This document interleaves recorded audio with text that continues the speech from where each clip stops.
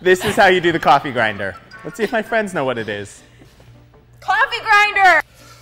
Coffee grinder. Coffee grinder. Coffee grinder. Oh, it, it's on the floor. Back up. I don't think I've done this since I was. Oh yeah. Okay, if this is the pencil sharpener, then this is the coffee grinder.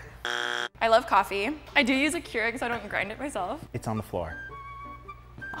Is it like the breakdance thing? Yes, yes, yes.